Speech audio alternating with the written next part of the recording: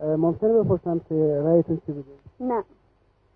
ممکنه دلیل چی بگین خب هر کسی یه دلیل داره منم دلیل شخصی خودمو دارم که الان نمی‌تونم بگم چرا. می‌تونین بگین که دلتون می‌خواست به چی رأی بدین؟ جمهوری دموکراسی.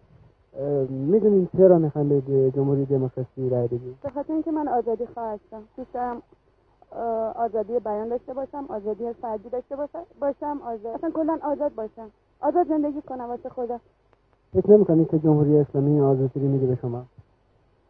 والا من نمی‌دونم اصلا جمهوری اسلامی چی هستش. اگه توضیح می‌دادم درباره جمهوری اسلامی همونطور که هست بعد می‌تونستم تصمیمم بهتر بگم یا بندازم توی این صندوق آراشون اگه قبلا مثلا این کتاب قانون اساسی رو چاپ می‌کردم و پخش می‌کردم بین مردم که مردم بدونن راجع به چی هستش. آدم راحتتر می‌تونست بده ولی الان که من نمی‌دونم ترجیح میدم نه بگم.